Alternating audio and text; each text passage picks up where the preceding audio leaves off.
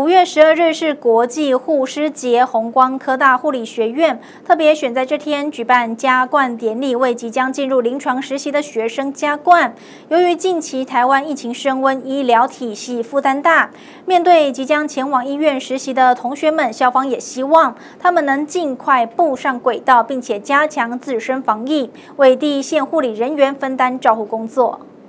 加冠。台上护理师们依序帮两百多位学生进行加冠仪式，女生戴上白色的护理师帽，男生则是佩戴上胸花。红光科大护理学院特别选在五月十二号国际护师节举办加冠典礼，希望勉励大家在疫情严峻之际，效法南丁格尔精神，勇敢守护国人健康。就是这个时候，正是你发挥你这三年来所学的，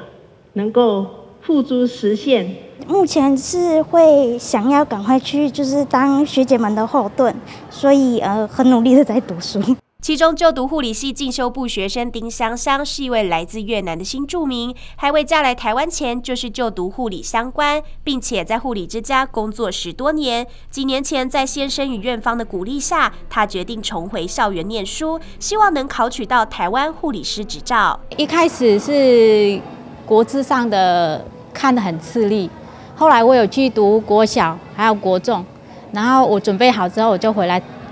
上大学这样子。另外，还有一位来自香港的护理生吴国资，从小就对护理工作有兴趣，因为认为台湾的护理技术与学历较为扎实，与家人沟通后便决定来台就读。如今即将投入医院实习，他也期盼未来能在台湾贡献所学。因为毕竟我是自己一个来台湾读书，所以家人其实确实会呃蛮担心这部分的，所以我们几乎就是每过几天都会视讯啊什么的，然后家人的担心都会 不免的透露出来，但是他们也是很支持我的。